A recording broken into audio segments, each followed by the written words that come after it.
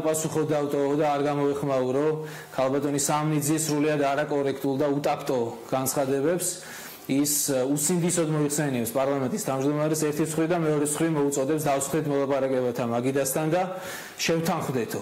აი ეს არის სახე.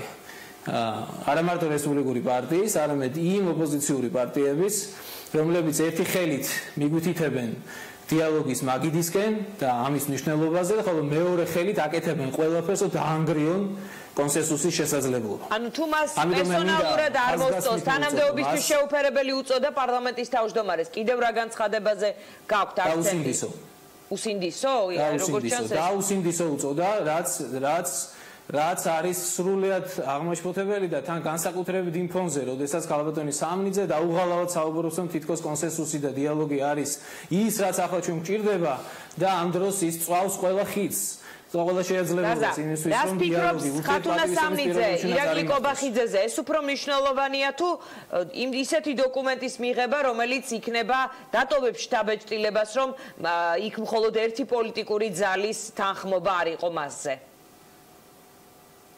არა, განუზომლოდ უფრო მნიშვნელოვანია კონსტიტუცია, ცხადია, მაგრამ მე ვერ დავტოვებდი გამოხმაურების გარეშე ამ სრულიად უტაქტო გამონათქვამს, იმიტომ რომ თუკი ჩვენ ვცდილობთ ერთმანეთისკენ ვიაროთ, გამოძეროთ კონსენსუსის დიალოგის გზა, ეს უნდა ეფუძნებოდეს ურთიერთპატივისცემას, აი ამ განწყობას და ამ ფონზე, როდესაც ასეთი შეფასებები და ტერმინები ხდება, ამის გამოყენება ხდება, ბუნებრივია ძალიან რთულია დიალოგზე საუბარი. თუმცა რა თქმა უნდა, აჩვენეთ ოპოზიციას დათმობის რესურსი და იქნებ ძალიან კარგად დაგახასიათოს სატელევიზიო გამოსვლებში.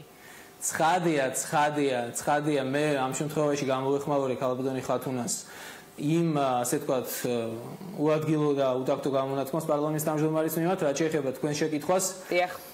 როდესაც საუბრობთ ოპოზიციაზე, ჩვენ უნდა გახსოვდეს, რომ ეს არის დაქსაქსული, ფრაგმენტირებული ჯგუფები, რომელთაც შესაბამისად აქვს სრულიად დაქსაქსული, არაკოორდინირებული და შეუთანხმებელი პოზიცია მათ შორის კონსტიტუციასთან დაკავშირებით და ეს მათ შორის კალბატონმა სამნიძემას დაადასტურა. მაგრამ მათ აქვს შეთანხმებული პოზიცია პროპორციული სისტემის უპირატესობასთან დაკავშირებით. ყველას. არა, ეს მე ვფიქრობ, არ არის სერიოზული, იმიტომ რომ შესაძლოა ვლაპარაკოთ კონსტიტუციაზე, ჩვენ უნდა ვილაპარაკოთ არა ფრაგმენტულად ცალკეულ თავებზე, ცალკეულ მუხლებზე, ცალკეულ ნორმებზე, არამედ მთლიანობაში, რისთვის არის მზა დღეს ოპოზიცია, რა არის ის საკითხები, რომელზეც თანხმობის ასე ვთქვათ, არასებობის შემთხვევაში, რომელზეც ხელისუფლების არ დათანხმების შემთხვევაში, ის ამ შემთხვევაში, რა თქმა უნდა, საპარლამენტო ოპოზიციამ ყავს მხედველობაში, არ დაუჭერს ხარს კონსტიტუციას. აი ეს საკითხები ჩვენთვის ცნობილი არ არის. ამ საკითხებს ჭირდება სისტემურად ერთიანად სრულფასოვნად წარმოდგენა, რაც ოპოზიციის მხრიდან არ მომხდარა, თუ კი აქცენტი კეთება, რომ ცალკეულ მედია საშუალებებთან ცალკეული ადამიანები რაღაც განცხადებებს აკეთებდნენ, ეს არ არის ოპოზიციის ხედვა.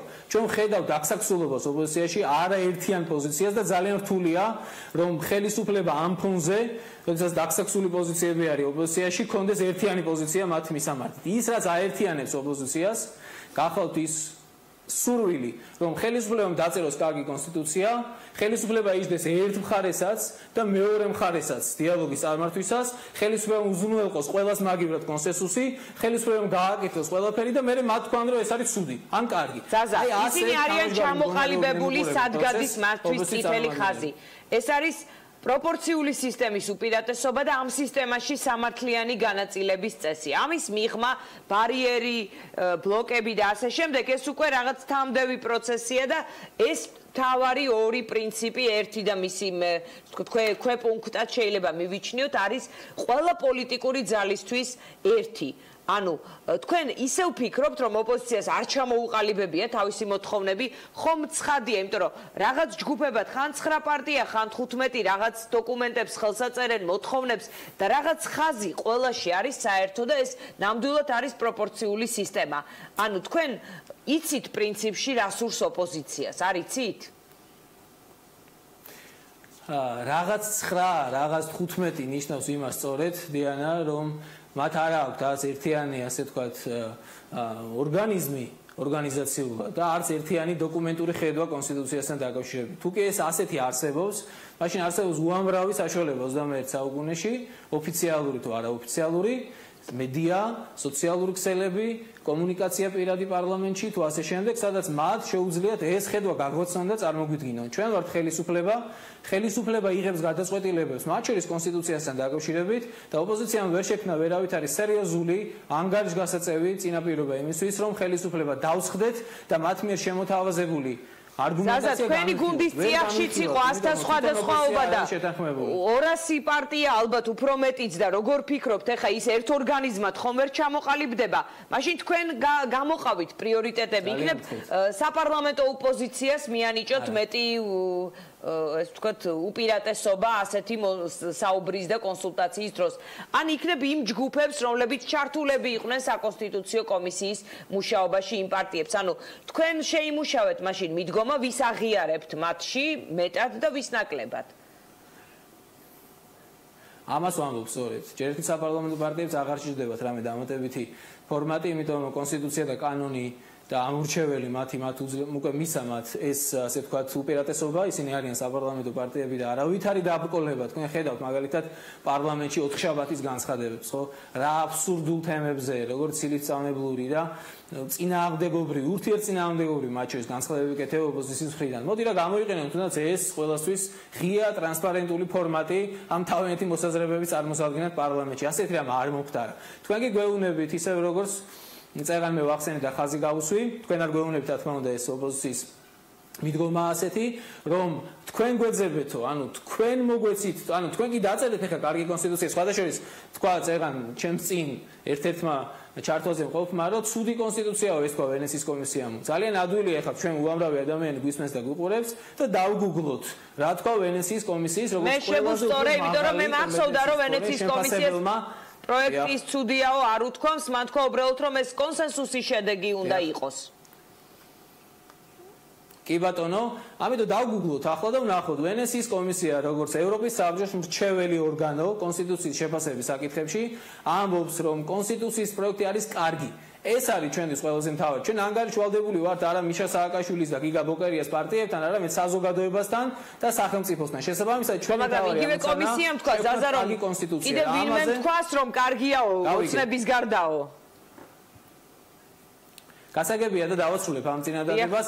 ჩვენ ვართ ანგარიშვალდებული ხალხთან და სახელმწიფოსთან.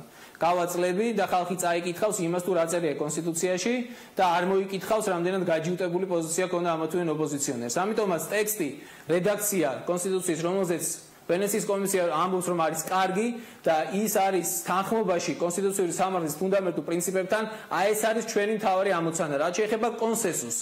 კონსენსუსი კონსტიტუციის ხელზე არის ატრიბუტი. ანუ მთავარი არის კონსტიტუციის ტექსტი, რაც შეეხება კონსენსუსს, რა თქმა უნდა სასურველია.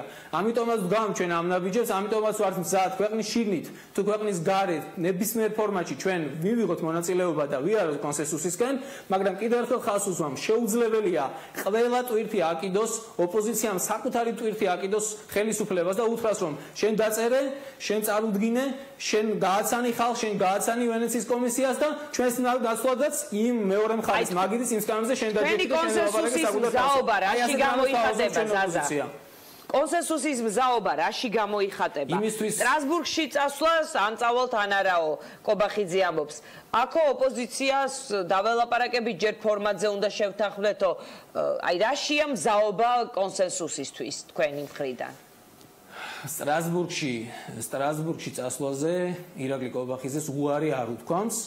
და თუ კი თქვა ასია გაგებული ეს შეიძლება იყოს პერსონალურად გაგებული თუმცა ხელისუფლებას უმრავლესობას არც ერთ ფორმატში ქვეყნის შიგნით და ქვეყნის გარეთ თქვენ იცით რომ არ გითქვამს უბრალოდ პირიქით ინიციატორები ჩვენ ვიყავით მათ შორის ბერლინის კონფერენცია გავუხსენოთ სადაც არ მხოლოდ ვენეციის კომისიის წარმომადგენლები არამედ საერთაშორისო ექსპერტები ადამიანები რომელთაც ევროპაში ეთქმით კონსტიტუციაზე სიტყვა. აი ეს ადამიანები იღებდნენ იქ მონაწილეობას და არც ერთ მათგანს არ უკადრებია აი ამ რედაქციასთან დაკავშირებით კონსტიტუციის ის რაც რასაც სპეკულირებენ ჩემი ოპოზიციონერი კოლეგები. ეს არის ძალიან სამწუხარო იმიტომ რომ ეს აჩვენებს უმწიფრობას ქართული ქართული პოლიტიკი პოლიტიკური ინსტაბლიშმენტის, იმიტომ რომ შიგნით და სწორედ თქვა ერაკლი კობახცემ, შიგნით ვარ შევთანხმდით ჩვენ, რა მიგვაქვს იქ ეგრეთ წოდებულ მედიატორთან, ხო, სასაუბროთ. შიგნით არ უკადრებია ბატონზაზა, მაგრამ შენიშნები ბევრი იყო. პირველად პროექტში, რომელიც ზეც იყო არასამართლიან განაწილებაზე იქ შენიშნები და ასევე მთელი რიგი ჩამონათვალი იყო.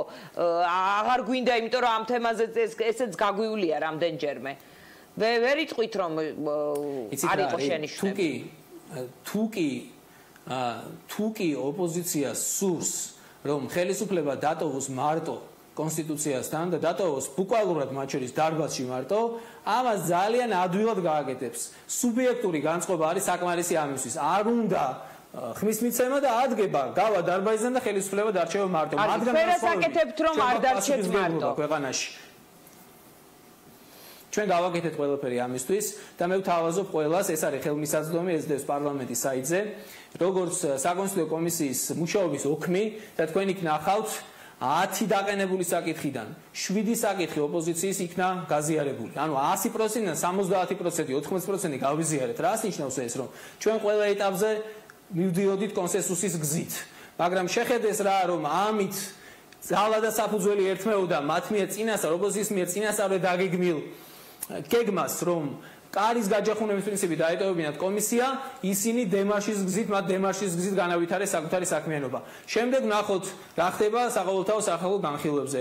ოპოზიციიდან განსხვავებით, სხვა შეიძლება 2010 წლის 15-16 ოქტომბრის ოქმი რომ ნახოთ ვენეციის კომისიის, იქ არათუ კონსტიტუციის რედაქციას აკრიტიკებს ვენეციის კომისია. იმასაც ამბობს, რომ საფუში წამოიწყოს განხილვა. ამას რატომ ამბობთ? რომ ჩვენ ეს ადამიანებამდე მივიტანეთ, იმიტომ რომ საამაყო რედაქცია, ნახეთ აბა რა წერია ამ ოქმებში. ადამიანები, მოქალაქეები, რომლებიც გამოთქვამდნენ საკუთარ მოსაზრებას, ძალიან დიდი ნაწილი, რომელიც რა თქმა უნდა ახლოს არის კონსტიტუციონალიზმთან და ადეკვატური იყო. რაც მიიტანეთ, შემდეგ იქ შესწორება შეიტანეთ იმაში, რაც მიიტანეთ. ვიტანეთ? холод ვადებში, холод ვადაში, დიანა, არ შევიყვანოთ საზოგადოება შესაძლებელი, холод ვადაში არის წელიწადია ლაპარაკი. 4-ზე, კარგი, ასე ვთქვათ, ვინაიდან იქოციეთ საკითხი. ხდია. პრინციპული საკითხი არის შემდეგი. სისტემა, სისტემის מחასიათებელი. რა ტიპის სისტემა ექნება ქვეყანას? ყველა ჩვენი წინამორბედი ხელისუფლებისგან, ხელისუფლებებისგან განსხვავებით, რომელთაც ვერ გაბედეს და მხოლოდ დეკლარირების დონეზე, მხოლოდ თეორიის, მხოლოდ ლექციების დონეზე ამობდნენ, რომ კარგია ქვეყნისთვის პროპორციული სისტემა, ჩვენ ავდეგი და კონსტიტუციაში ჩავწერეთ. ეს ხო არა წინასაარჩევნო დაპირება ვიღაცამ რო თქვა, რომ დაპირდითო მხოლოდო. არა, ჩვენ ეს ჩავწერეთ კონსტიტუციაში, იქ ვადა განსაზღვრეთ, ანუ ეს იმას ნიშნავს, რომ პროპორციული სისტემა ამოქმედება აუცილებლად. ამიტომ არც ეს სხვა პოლიტიკურ ძალას აუცილებლად, მაგრამ ოდესღაც არ აქვს ამ ნაწილში გვედაოს. ოდესღაც რატომ? 4 წელი ახსენეთ არ არის ეს. ოდესღაც პოლიტიკურ სისტემას პოლიტიკურ მოთამაშეებს პარტიებს საზოგადოება ჭირდება. დრო მათ შორის რომ ადაპტაცია მოხდეს მათ შორის ამ სისტემასთან. და რასთავარი ეს არის დაკონკრეტებული ვადა და არა ოდესღაც როგორც თქვენ ახლა თქვით ეს სისტემა გარდაულად შეუქცევა და ჩვენ გადავართ პროპორციულ სისტემაზე. ეს არის გადაწყვეტილება ხელისუფლების უკვე დღეს მიღებული. ამიტომ არაფერი ასებითად შეცვლილი იმ რედაქციაში არ არის და მთავარი არის ის რომ ჩვენ კლავტოვებთ შესაძლებლობას დიალოგის, ოღონდ არა დიალოგისთვის, არამედ მაშინ მათი მოსაზრებების გაზიარებისთვის, მაგრამ ხაზი უნდა გაუსვათ იმას კიდევ ერთხელ და რამდენჯერაც იქნება ამის საჭიროება, რომ ოპოზიცია ისევე როგორც არის ორგანიზაციულად დაკსაქსული, ასევე მისი მოსაზრებები არის ფრაგმენტირებული და დაკსაქსული და ხელისუფლების ვალდებულება არ არის აკრებოს და შეაერთოს ხელისუფლების ოპოზიციის პოზიციები. მათ უნდა გაერთიანონ სისტემური უნდა გახადოს საკუთარი ხედვა კონსტიტუციაზე, შემოგთავაზონ და ამის შემდეგ იქნება ასევე სისტემური და ერთიანი პასუხი ჩვენი მართლმიმართების. გასაგებია. დიდი მადლობა ზაზა გაბუნიას ჩვენ საუბრობდით